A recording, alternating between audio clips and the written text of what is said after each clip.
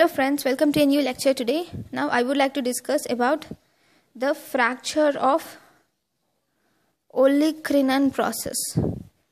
Fracture of olecranon process. So fracture of olecranon process it is usually seen in adults.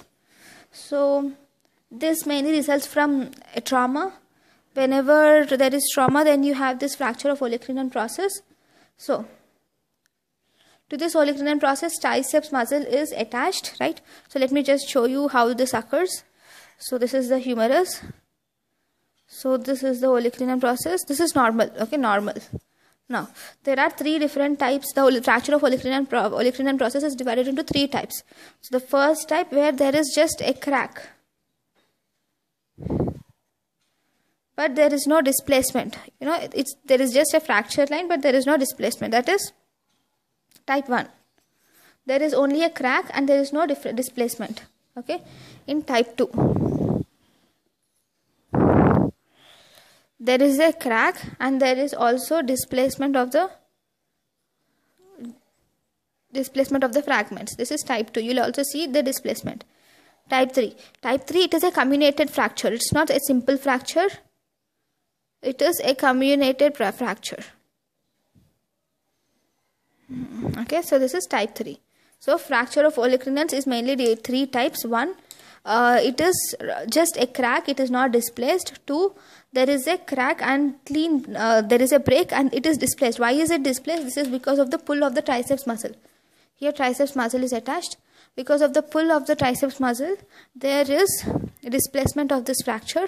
And three that is nothing but the comminuted fracture. So whenever there is displacement to the you know this results from direct injury mostly uh, into the fall on the elbow joint. During that time there is an injury to the olecranon process and this uh, injury due to the triceps muscle which is there. Because of the pull of the triceps muscle you will see displacement. Okay? How you go what are the treat what are the investigate what are the how does the patient present to us? The patient presents to us with, with pain swelling over the elbow joint if you examine it the patient will have tenderness. Obviously there will be pain so there will be tenderness and there will be gap between the fragments. You can if you just palpate it you can even feel the gap between the fragments okay? Then investigation is the best investigation that is done in x-ray. On x-ray you can see this fracture line okay? How are you going to treat it? Treatment depends upon the type of the fract olecranon fracture okay? If there is type 1 where there is a crack but there is no displacement. Here you will just immobilize it. Okay immobilize with above elbow fracture. Above elbow fracture you'll put an above elbow fracture and you'll immobilize it. Okay? And then after 3 weeks you will remove the fracture. After 3 weeks you will remove it and you will start elbow exercises. Okay? So that is how you treat type 1 in type 2 because there is already a displacement right? There is already a displacement.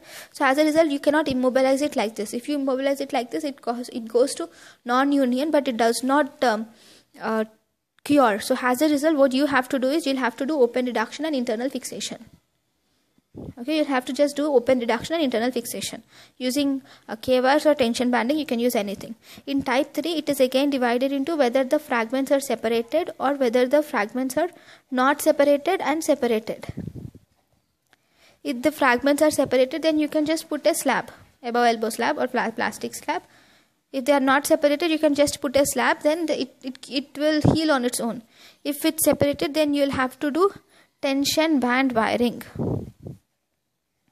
you'll have to do tension band wiring and you'll have to excise these fragments. These fragments which are there these should be excised. And you will have to join these both. Okay? You'll have to excise these fragments and you'll have to join these both.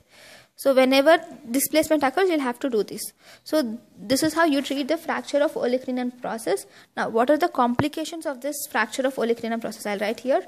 The complications are one there can be non-union why can there be non-union? Because whenever there is displacement, increased displacement. This whenever there is displacement and if you did not do open reduction and internal fixation and if you just immobilized it, then there is formation of callus over the ends of the bone leading to uh, disunion, non-union, sorry.